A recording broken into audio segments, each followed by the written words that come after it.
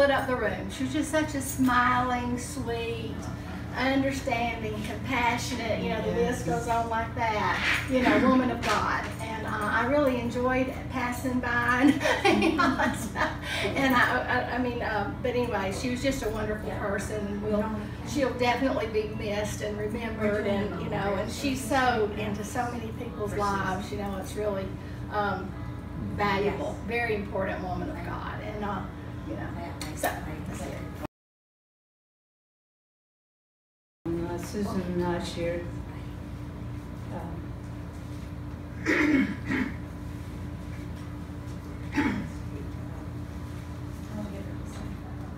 a lot of time together. We're starting the story. She was um, my uh, best friend. Anytime I needed someone to pray uh, and get an answer from the Lord, we would always get a yes from my father. We had our adventures to Moravian Falls. And one time I thought that Susan was going to do the Thelma Louise with her car off of Prayer Mountain. We did pray about that too, or I was certainly praying a lot more on Prayer Mountain. but uh, Susan was a giver. And uh, I never knew, uh, whenever I was standing in the line when we went to different meetings and everything, she was going to fall into glory because she was always in the glory. And I just finally said, Lord, I said, she hasn't failed yet. So, but anyway, uh, there was conversation between us. That was the Father, the Son, the Holy Spirit.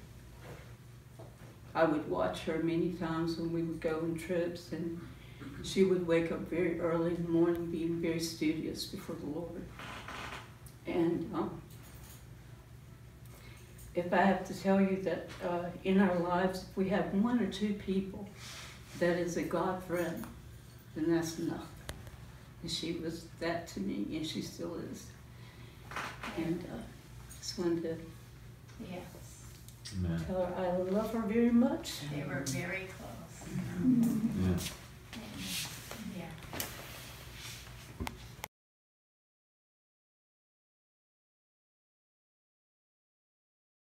And I say joy without reservation because this is not a memorial.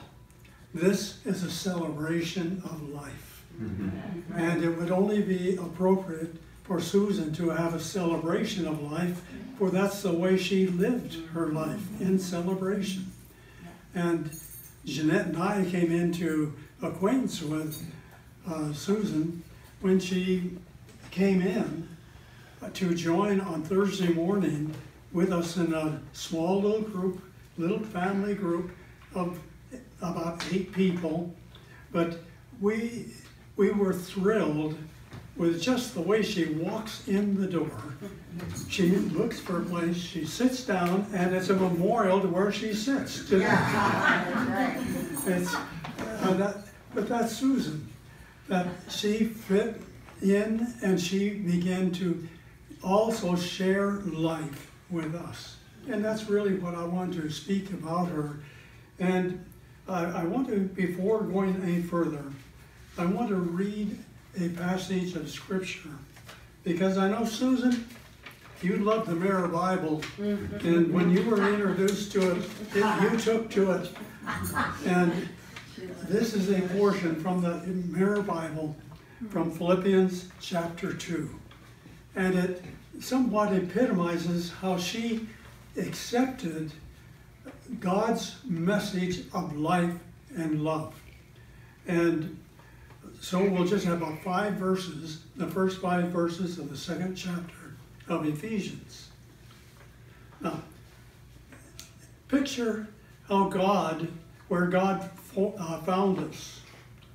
We were in a death trap of an inferior lifestyle, constantly living below the blueprint measure of our lives.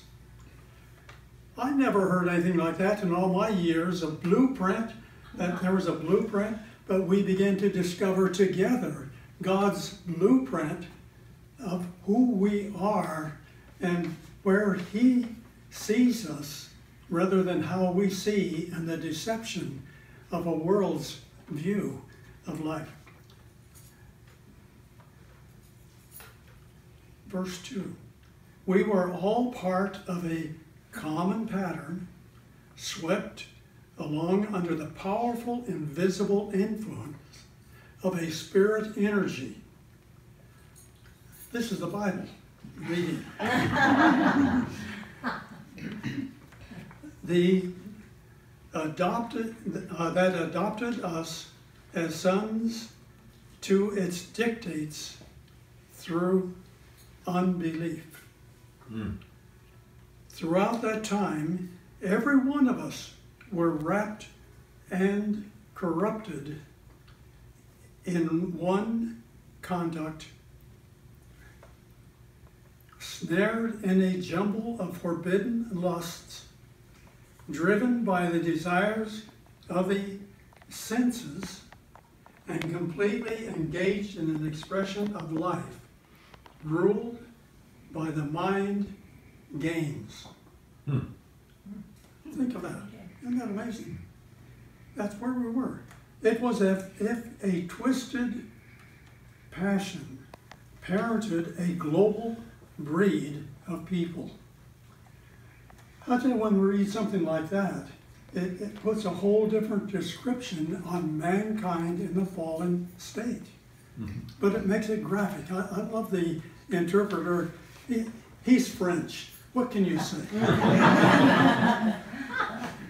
and he has a passion, but he knows how to put it in our language today. Yeah, Those old Frenchmen. Okay.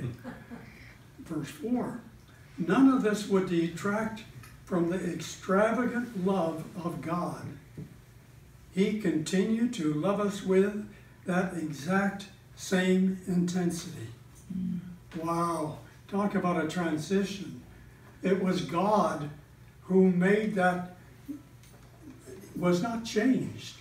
By everything that we could do wrong, He still loved us the same. Yeah. Wow. Yeah. And I could see Susan sitting there and something like this being read, and she just comes alive. She comes like, yeah, wow. Uh-huh. Uh-huh. And this was, this is the way she lived, right? I, I see, a, yeah, you, you know, because this is the way your grandmother lived her life with such a love, but was the infectious love of a God who never had a diminishing bit from his extravagant love for every individual, every one. And he had a blueprint of us long before the world was ever formed. Wow. Yeah. It puts a whole different perspective on life. Mhm. And this is how grace rescued us while we were yet in that state of deadness and indifference in our own deviations. We were co quickened together with Christ. And when it says we, it's talking about the entire humanity was co-quickened with Christ in his death, burial, and resurrection. And that puts a perspective on life that I never had. In all my training, two seminaries, to cover the bases, I had Protestant, I had Catholic. But I never heard it put that succinctly. That God's extravagant love so captured his attention that he sent his son because of God's love, Father, Son, and Spirit's love for us. Christ came to mirror, like the Mirror Bible, to mirror in life the way that he created us to be. And God never saw us other than through Christ. Amen. His love has no buts. It's all love and he sees us through Christ in our co death, burial, and resurrection with him. Yeah.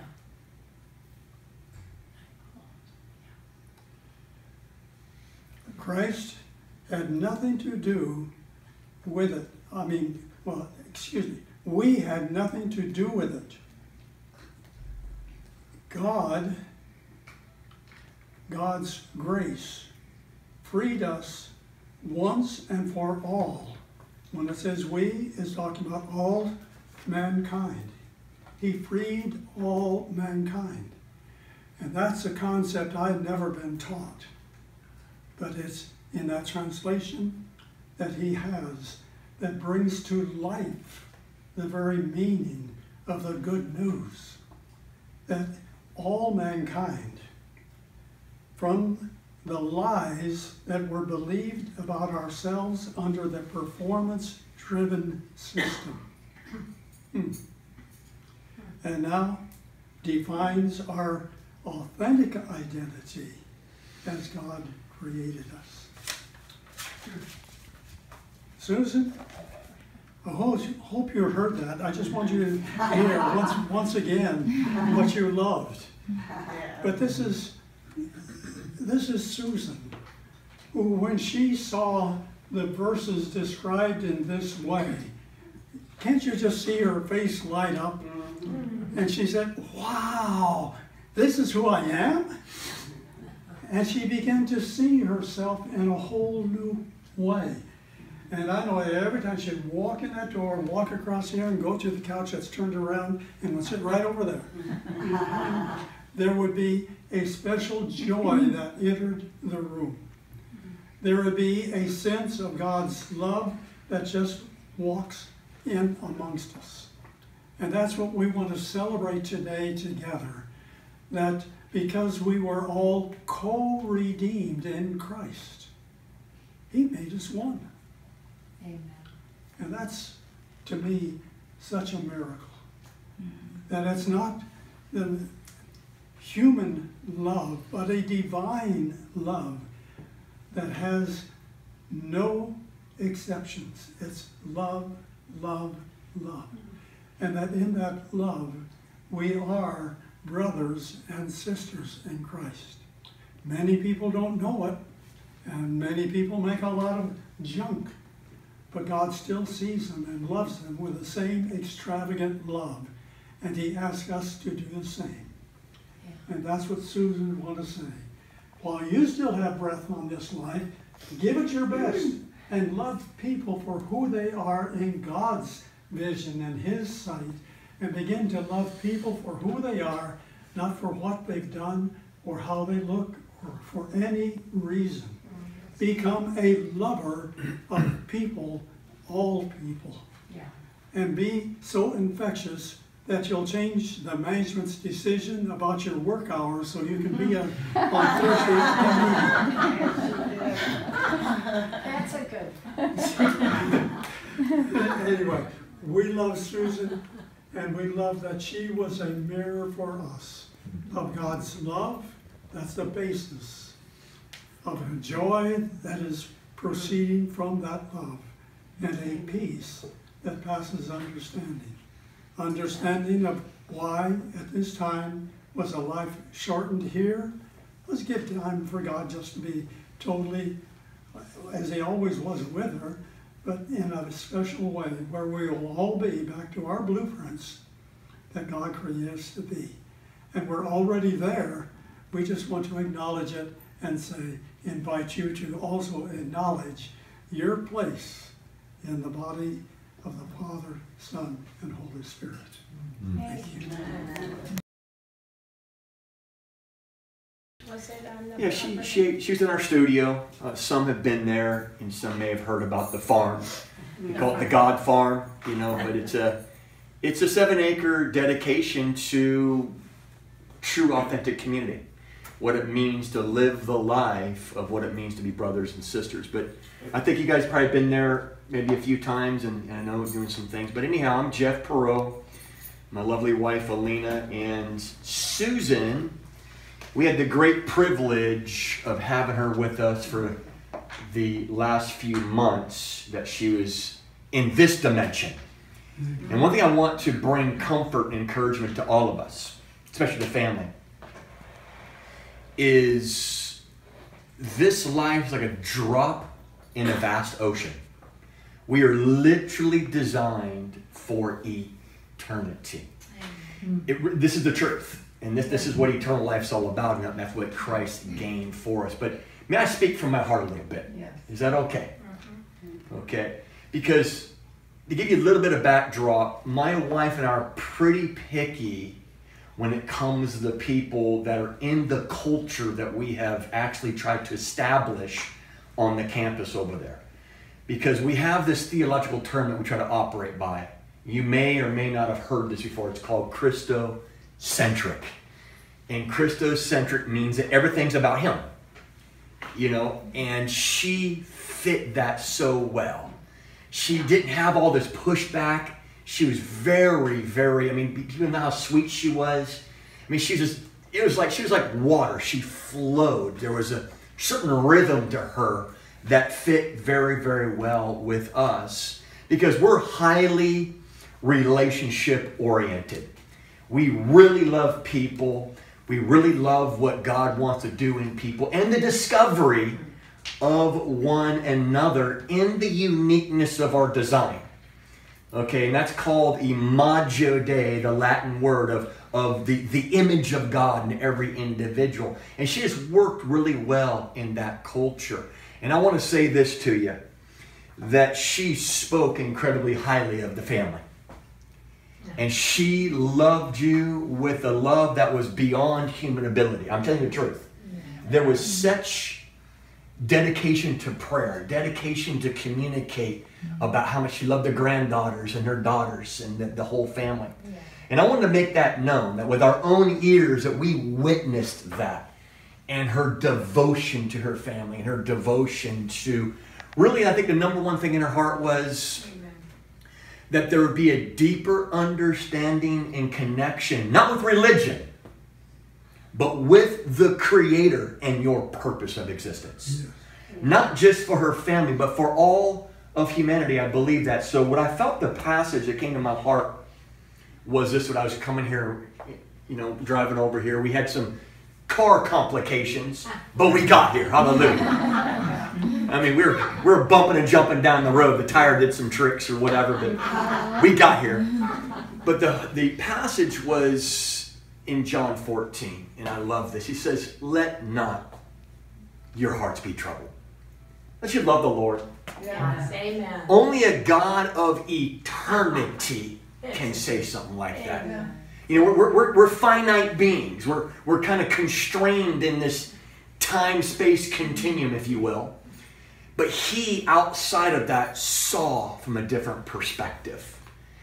And he can say, in the middle of the trials, the disappointments, the betrayals, the pain, you know, and the things of life and the heaviness and the, the things that really challenge us, he says, let not your hearts be troubled. Yeah. And this was the resurrected Christ, the one who conquered death, hell, and the grave, and the intimate ones. His disciples were asking him, What's this all about? By the where are you going? He says, Let not your heart be troubled. He says, I go to prepare a place for you. That in my father's house is many mansions, or that word is many rooms, many dwelling places. And here's the beautiful news we're all invited. Isn't that beautiful? Talking about a family reunion. So I will say this with confidence and 100% certainty. Susan is not dead. God is the God of the living. She is very much alive. Amen. This is one of the unfortunate things for us in this in this kind of framework. We're going to miss her dearly. Mm-hmm. We're going to miss her dearly because she's not in this dimension. But she's in a greater dimension that I believe we will all go to. Yeah. For in the Father's house are many dwelling places. And he says this I will come again and bring you to myself. And that's that place of intimacy. I call it being hidden in the heart of the Father to the access of Jesus Christ. And I just really felt that on my heart to really comfort all of us and to let us know the greatest desire that I know from Susan is that everyone, starting with her family, that you know that beyond the stained glass windows and pews. Yeah. Amen? Amen. In a real intimate, personal way. And I'll say, I'll close with this. So we had many, like, kind of intimate house gathering sort of vibe happening where we're at, and, and, and Susan and Alina and ourselves, um, you know, maybe a handful of us get together and just had real conversation like family. And and I just will always cherish those times and those moments and her her countenance her I mean there was a certain radiance is that not true Yes. she knew God Yeah. Yes. and may that inspire all of us No. to rip the veil of religion to know who the creator is mm. and here's the beautiful thing eternity starts now. We don't just die and try to find the dimension of heaven, but it's something we can grab a hold of right now to have this thing the Lord called abundance Yes. Of life right now. So this is what I want to encourage all of us, including myself. I need it. We've been through some trials. It's been a difficult, about, about the dif- about difficult life for me, but say difficult like five years been very, very challenging. And really the last two and a half years went to another level of challenges. But let's grab a hold of the power and the value and the significance of living in the abundance of life that He has called us to right now. And it starts this way He says, Seek first the kingdom of God. It means His ways, His nature, His character. And, and He says, and His righteousness. We don't have to put our own self righteousness. Amen mm-hmm. that he became our righteousness, he says, and all the things we have need of. He says he knows that we have need of clothes and a place to dwell and food for our belly. He knows all these things. He says, I got that covered. But seek me, seek my kingdom, seek my government, how I govern from the inside out. And I want to also bring my wife up because she had the day before this accident happened, she was with my wife on the streets sharing this love with real people going through real pain. And I want to bring her up because it was an ama- just an amazing story. My wife, Alina Well, first I want to say that she always had her Bible open of what she had just read, and she would write down what the Lord was telling her. She just always, you know, what God was saying to her, and it was so profound. Well, the day before, well, first of all, I want to say when she first came to check out the place, and maybe that's why I just liked her so much was because we, I was, we were showing her around the property, and we had this one. It's kind of electric fencing so that the sheep don't get out. And she tripped over it. I was laughing. She's like, "You're laughing at me." I'm like, "No, I just did that a week ago. I tripped over the same fence, and I don't know for some reason that just hit us off." uh, really well. And she had such a gentle spirit, but yet she was still fiery, you know. And um, so the day before, we have a food ministry, and I take it out to the streets. I don't have them come to us. I actually make boxes and go take them out to people. Well, she came with me and she helped me out, which was a huge help because it's a lot of work.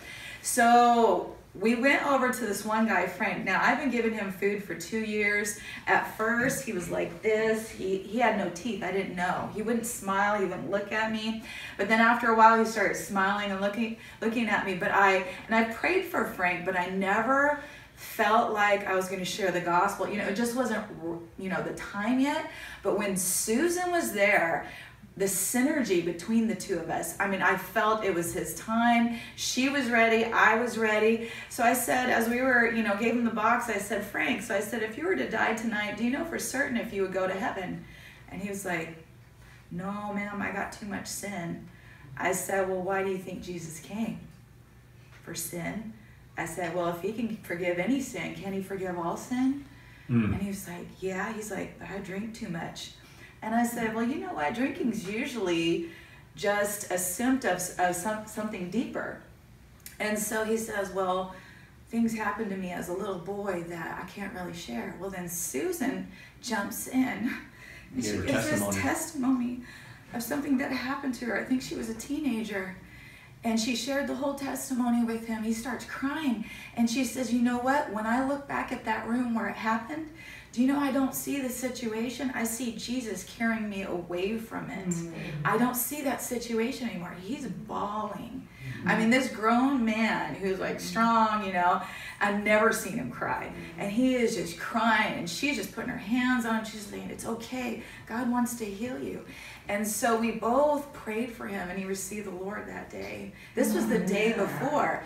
So then we're going over to this other gal. She's a little black gal. Her eye is to the side, and it looks like a man had really beat her A lot up of abuse. really bad. You know, like she ran away from it. She doesn't want anybody to know where she's at, you know, type of thing.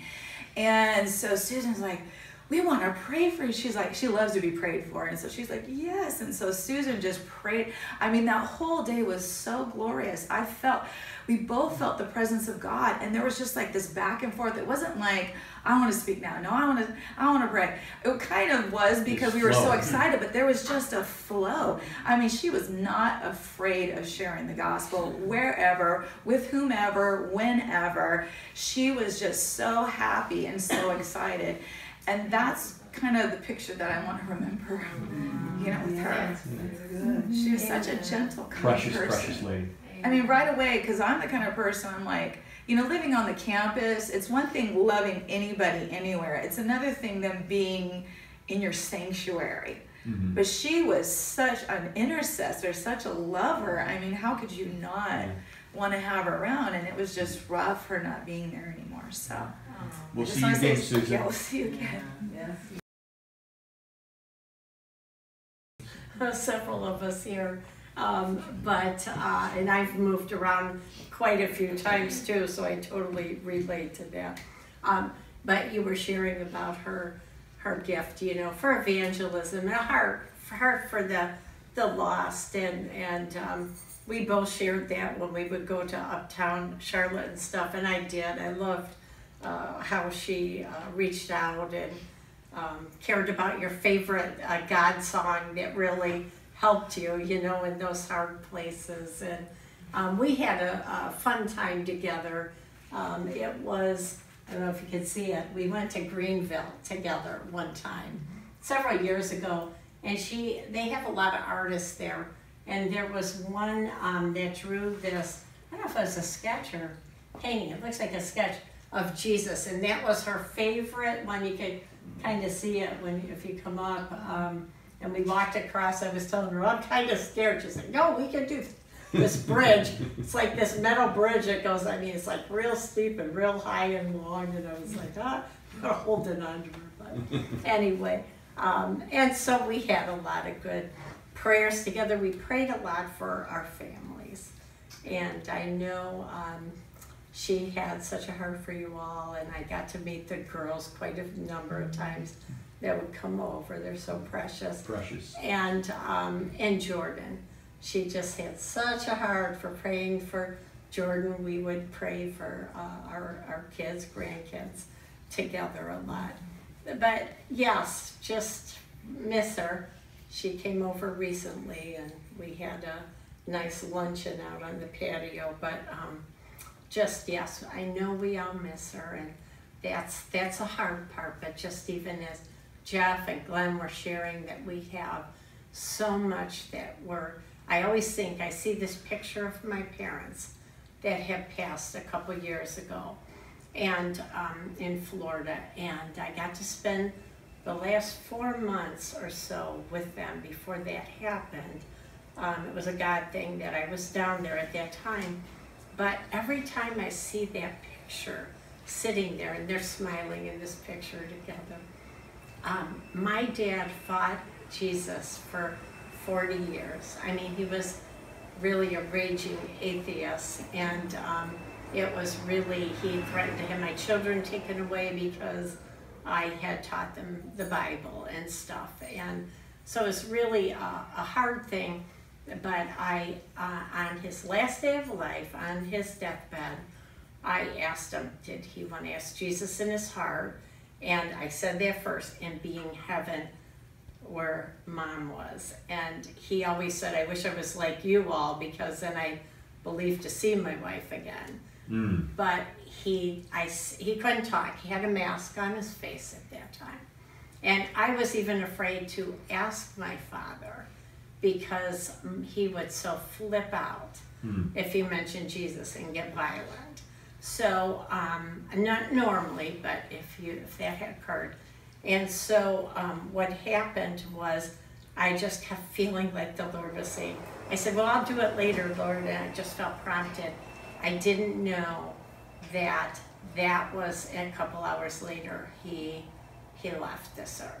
Mm. And so I was so thankful because uh, that was my life. I prayed and prayed for my father.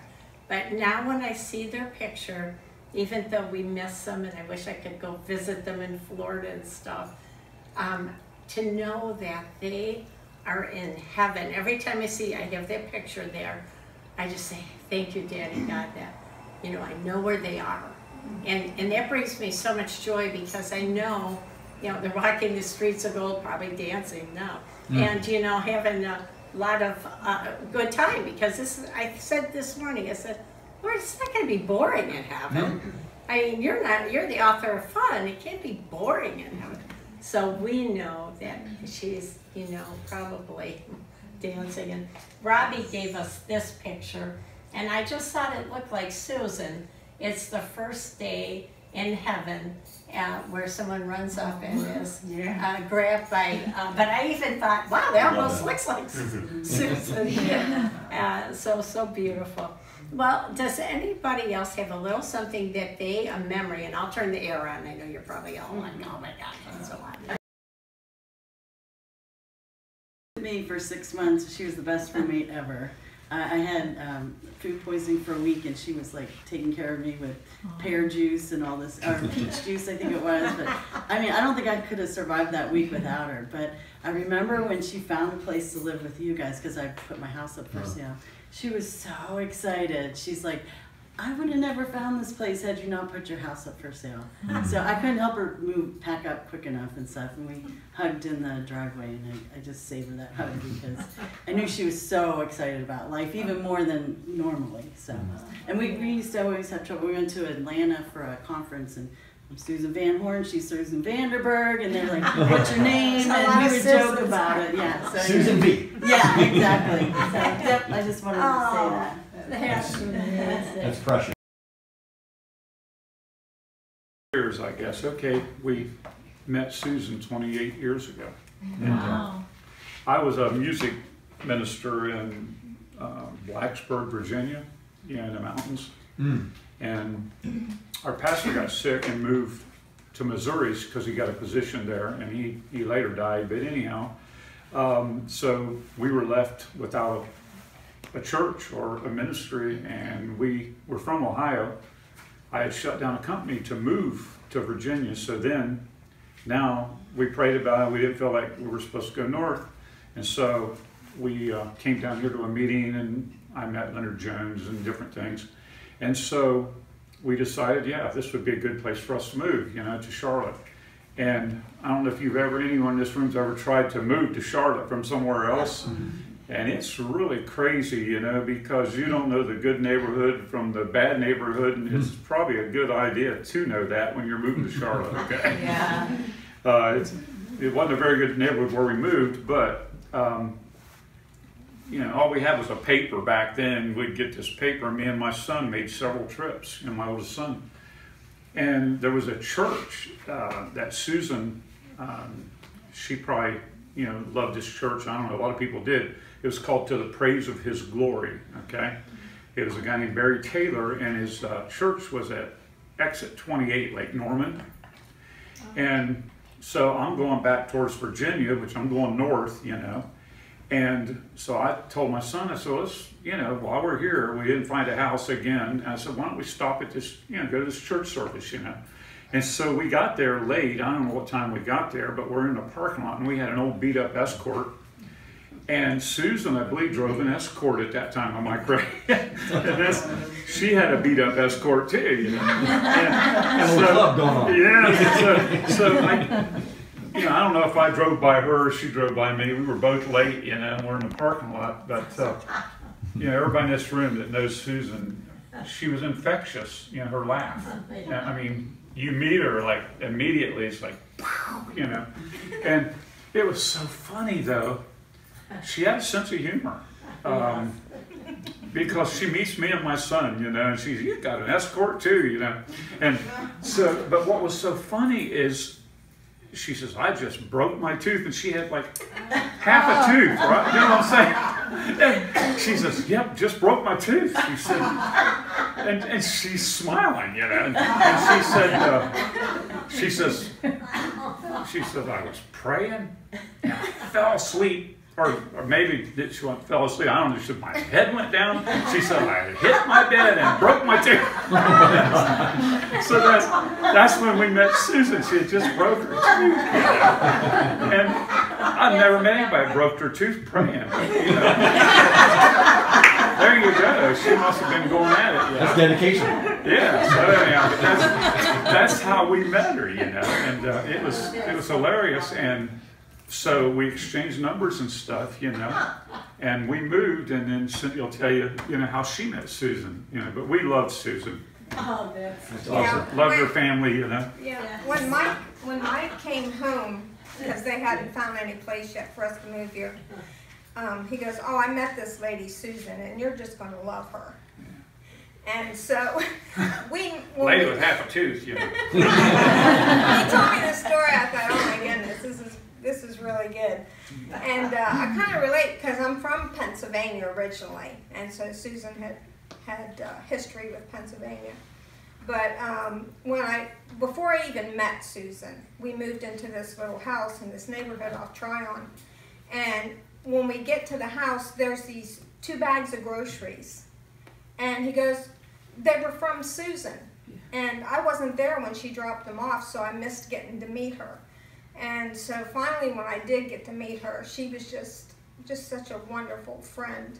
And you know, when you move away from friends and you go to a new place, especially for women, I think it's harder because you're more emotional and you're attached emotionally to people. And I left a lot of friends. We had our kids together and everything. So when I met Susan, it was just a real home feeling. And she Mm. was just such a true friend. No. And her love for God was just infectious to me. And although we've known each other for a long time, we didn't really spend a whole lot of time together. I did get to work with Megan. She goes, Oh, I have a daughter going to college, and uh, this would be a perfect job for her. I worked at this family restaurant called Bill Spoon's Barbecue. So Megan and I worked like four years together there. And um, Wow. so Susan lived far away from me most of the time, so me taking care of three sons and my husband and working all the time, I didn't get to see Susan a lot. But we started reconnecting again in the last two years. And she stopped by my house actually July before this had happened. And we were going to start praying together again. Well, I had two older dogs, so couldn't really leave my house, so Susan had to come to me because of the situation with the dogs. But she stopped by and let me know that she found mm-hmm. the place where you were at. She was so excited, and I was so excited for her because she was finally in her own little space, you know, where she could just be there with herself. And she was always believing God for a house. Well, Yeah. I know she has a beautiful house now. Yeah. Yeah. God has made her mansion for her, and she's Sure. living in it, and she's living life to the fullest. Come on. But um, I'm gonna miss Susan because she was just a true friend and just a prayer partner. When you got with Susan, you always prayed, and I just really thank the Lord that she was put in my life and that you kids were put in our life too. And I hope that we'll be able to connect again and And I just uh, wanted you to know that Susan really meant a lot to me, and that I loved her, and I still love her, and I look forward to seeing her again.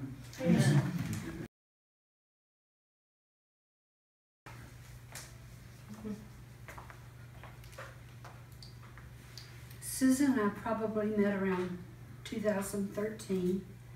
Uh, and Susan was always led by the Holy Spirit. And uh, I was going through a separation, and I was making plans to live uh, with another girl, a woman at church. And uh, Susan and I didn't know each other very well at that time. I think we met when we were both volunteering for a church activity. Uh, then we joined prayer group together. I mean, not together, but anyway, we were attending the same prayer group. But uh, she came to me and said, Dale, you're not supposed to go live there. Holy Spirit wants you to come live with me. Mm. You can't really fight Holy Spirit. And, um, and what I want to do is be like Susan when I grow up. Because she was such, um, I've learned so much from her. Uh, and I know that Christians are not supposed to compare themselves to each other because everybody has their own walk and their own relationship with the Lord. But um,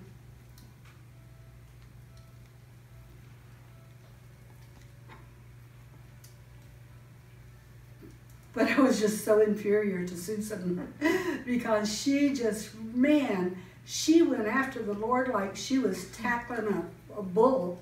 I mean, it's like she was going to get his face. She wanted to see the face of Jesus. And she would get up at four o'clock in the morning and read her Bible. Was I? No. She would, you know, and she would get in her little car. She didn't care how far she had to drive to a service, to a speaker, to a conference. And I just want to tell y'all, like everybody else, she was so excited to go down there. And um, and I'm going to tell you. You called me for a reference, and you asked me something like, "Did she fornicate or did she smoke?" And I thought, Susan, I was so offended at your question. you know, it's like, and then she told me, um, you know, about meeting you, and that she didn't know anything about animals, and she was so ready to learn about the sheep and the chickens, and you know, she just wanted to jump in there. And um, the uh, the Saturday before her accident, we had a perfect, perfect. I'm so thankful for that perfect Saturday together we had, and. Y- y'all know I had a cousin seven miles down the road that farmed and that uh, raised bees and had honey and she wanted anything natural. Any she was so she wanted to learn anything and everything, and she just uh, we went down there and, and some things. Um, when I went to the I I had COVID when Susan got hit. And I was just so concerned that I was going to be able to get down to the hospital and see her because the chances were good she was going to go to heaven. But um, so I got to see her Wednesday and Saturday before she passed away. And on Wednesday, um, the children were always very gracious. They just left the room like I was a queen coming to see Susan because they recognized that I, I spent I spent a year with her as her roommate in probably 2013, and then 2017 or 18, she came and spent a year with me. Mm. And um, oh, I lost my train.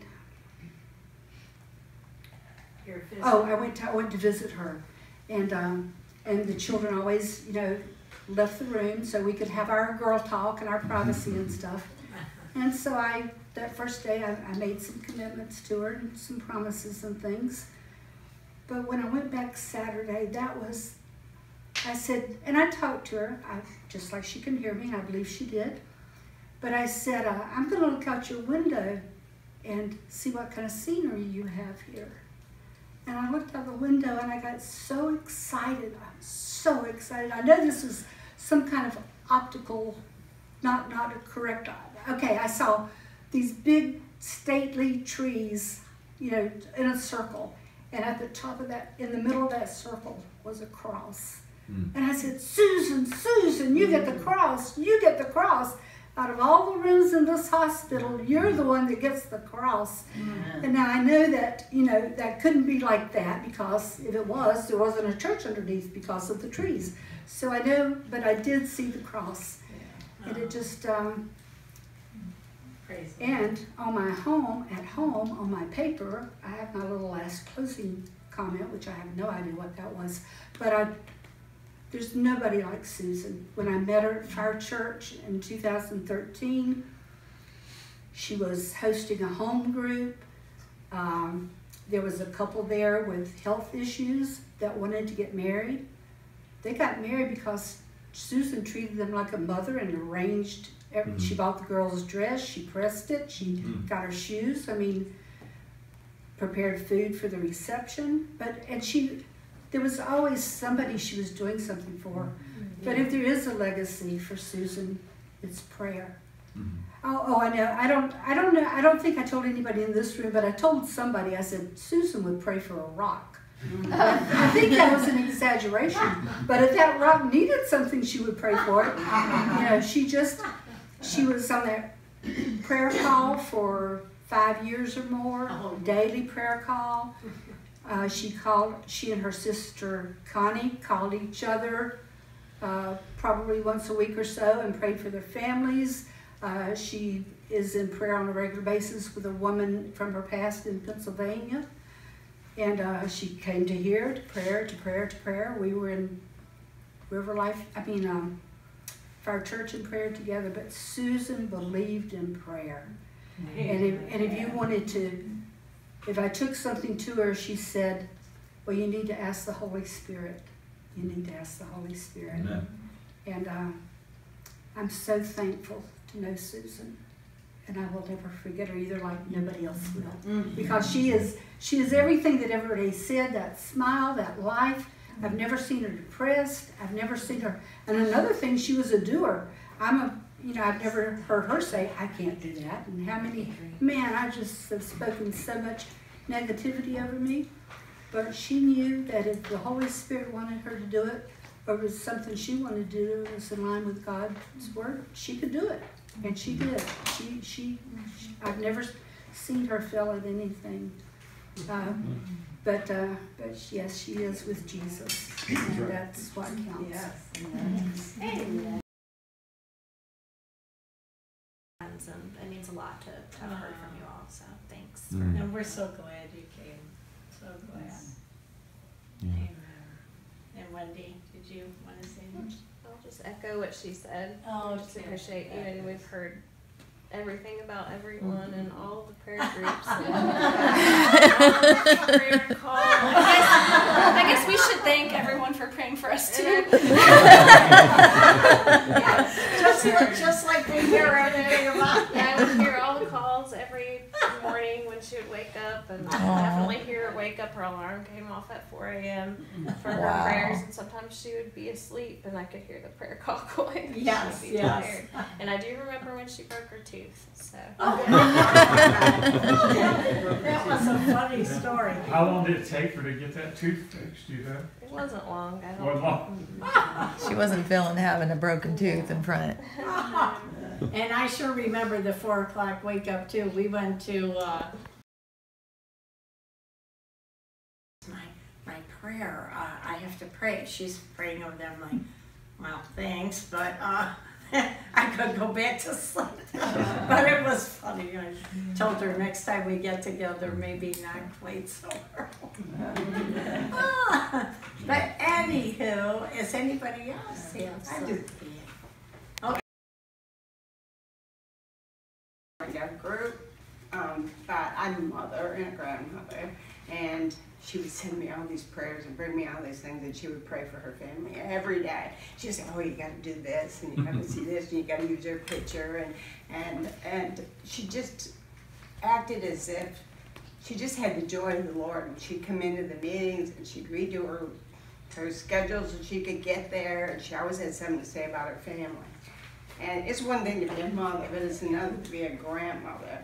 And oh, how she loves her grandchildren. I mean, it touches me because I do mine too. But she always has something to say about the kids, always. So I know, I really believe she just had so much of the Lord in her that she walked as much in the heavenlies as she did on the earth. And she still is, and she still prays for you every day.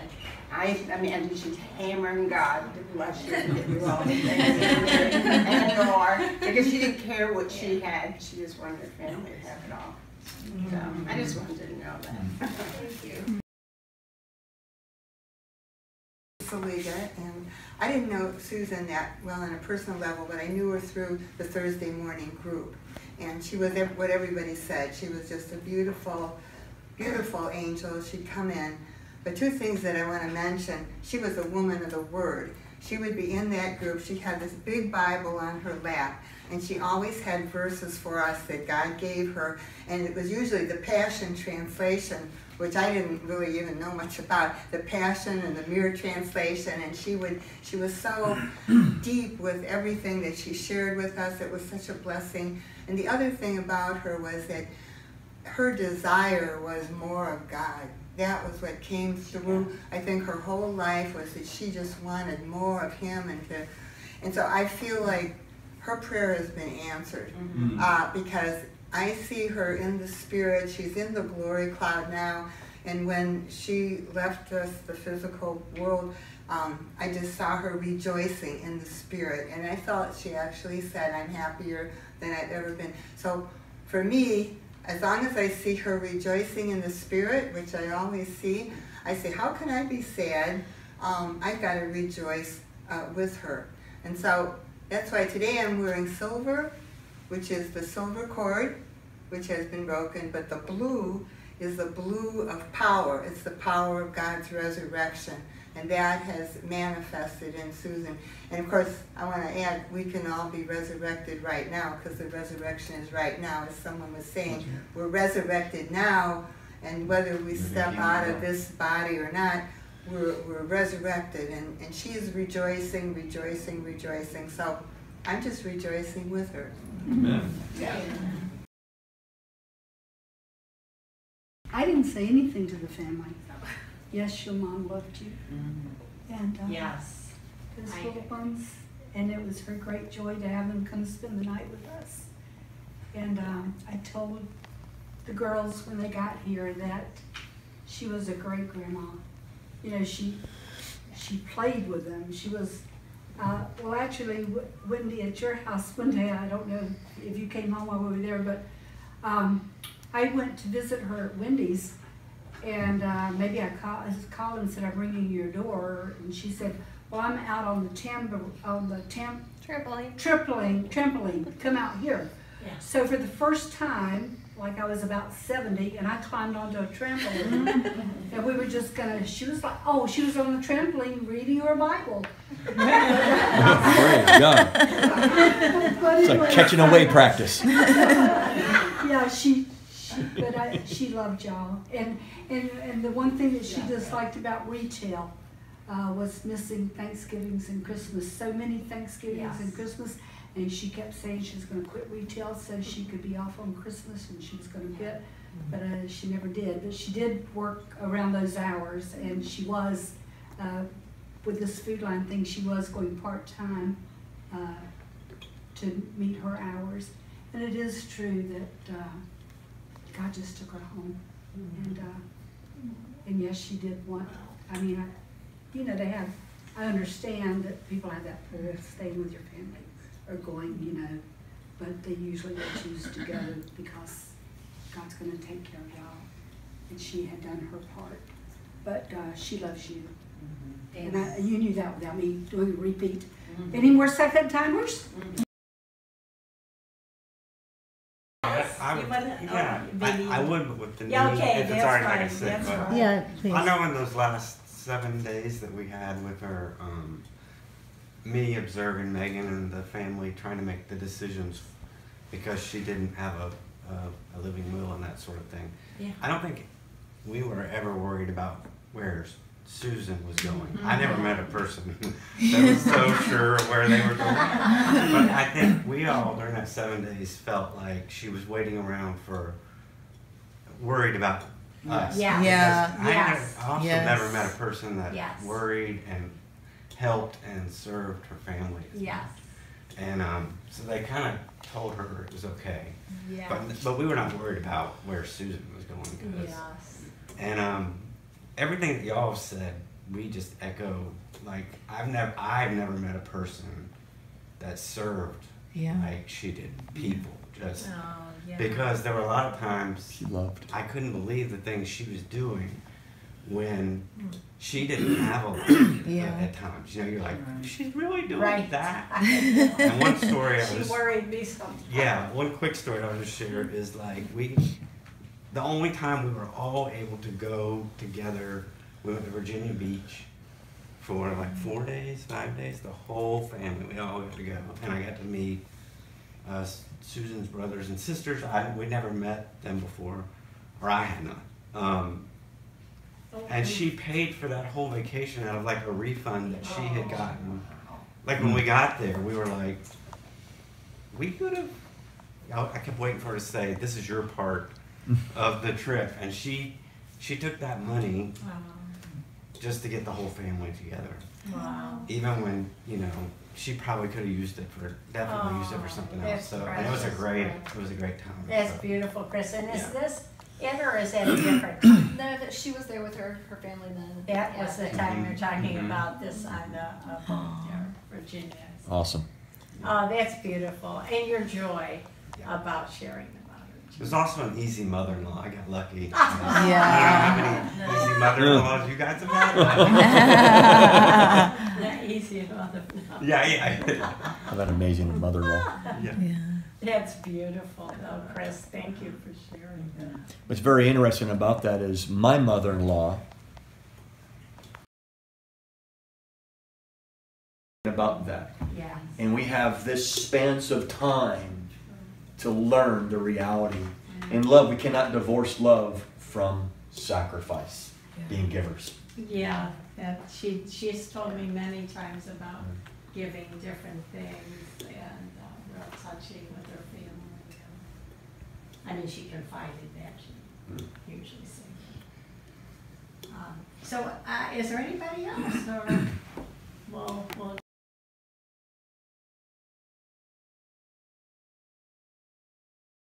Prayer, and it's just uh, see what the Holy Spirit wants to do. So, Father, we to honor you above all.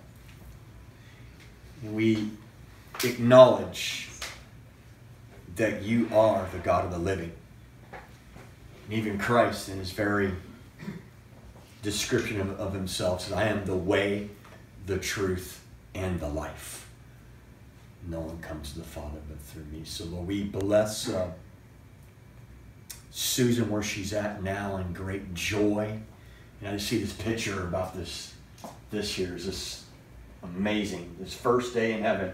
I just kind of see that, Lord, and and that's the celebration that we all get to experience in Jesus. And and so I pray that the rest of the day will be yes, we'll reminisce.